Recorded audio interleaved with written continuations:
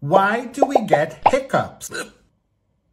In medieval times, hiccups were thought to be caused by elves. Yeah, elves. Like many things in the medical world, hiccups have a perfect anatomical explanation. They are caused by involuntary spasmodic contractions of the diaphragm, which is this muscle that you see highlighted in green. The diaphragm is this dome-shaped muscle, which essentially separates the thorax from the abdomen. When the diaphragm contracts, it will flatten out and then allow the thorax to then expand. Now, this expansion of the thorax will lower the intrathoracic pressure, allowing air from the outside to rapidly come in into the airways. This sudden inhalation is going to be rapidly interrupted by the spasmodic closure of the glottis, which happens to be this aperture here of the larynx right at the entrance of the respiratory system. This immediately interrupts the inflow of air and produces that characteristic sound of the hiccup. Now, spasmodic contraction of the diaphragm has